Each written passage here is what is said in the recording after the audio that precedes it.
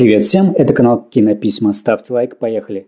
Ида Галич вошла в топ-3 блогеров, больше всех зарабатывающих на рекламе в Инстаграм с доходом от 800 тысяч долларов.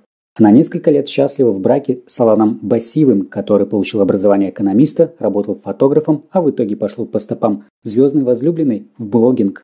Пользователи интересуются, а не смущает ли Иду то, что ее муж зарабатывает меньше нее.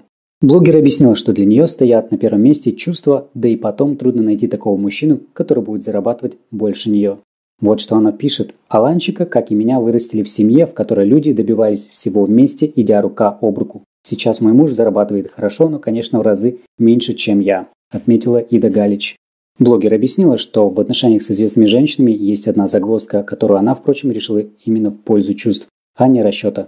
Галич понимает, что далеко не каждый мужчина сможет зарабатывать как звезды. И что же теперь за таких не выходить замуж?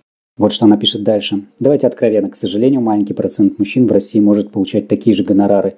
И что мне теперь не выходить замуж за любимого мужчину? Не любить человека, потому что он недостаточно богат? А Алану не жениться, потому что у кого-то есть комплексы, навязанные обществом? Недоумевает инстадива. Напомню, противоположной точки зрения придерживается актриса Настасья Самбурская, чей холодный расчет вызвал шквал возмущения в сети. Звезда универа сказала, что не пойдет замуж за пожарного зарплатой 35 тысяч рублей, так как только коммуналка выходит на 25 тысяч и парковка на 20 тысяч.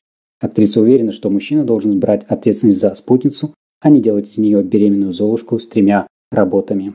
Напишите в комментариях, чья позиция вам ближе, Иды Галич или Настасья Самбурской.